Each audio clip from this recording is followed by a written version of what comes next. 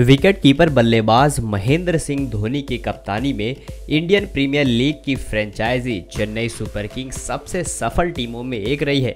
इतना ही नहीं सीएसके सबसे ज़्यादा बार खिताब जीतने वाली दूसरी टीम भी है।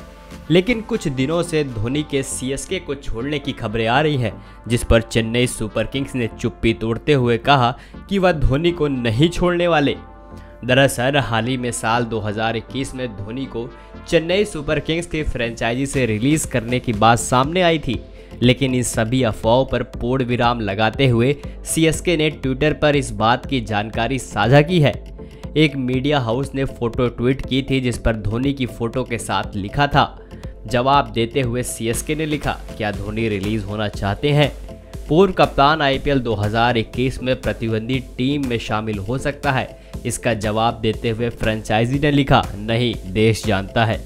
सीएसके इस ट्वीट से एक बात तो साफ़ हो गई कि धोनी फ़िलहाल चेन्नई सुपर किंग्स का हिस्सा रहेंगे और उनके जाने का कोई प्लान नहीं है।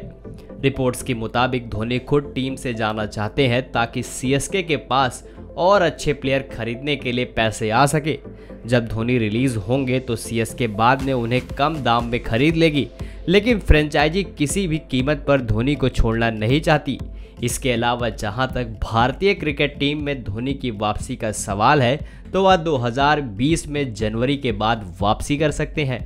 आपको कैसी लगी ये वीडियो, हमें कमेंट सेक्शन में कमेंट करके ज़रूर बताइए। अगर आप ये वीडियो फेसबुक पर देख रहे हैं तो हमारे फेसबुक पेज को लाइक करें। अगर आप ये वीडियो यूट्यूब क्रिकेट केसरी पर देख रहे हैं तो हमारे चैनल को सब्सक्राइब करें। अमन यादव, पंजाब केसरी, दिल्ली।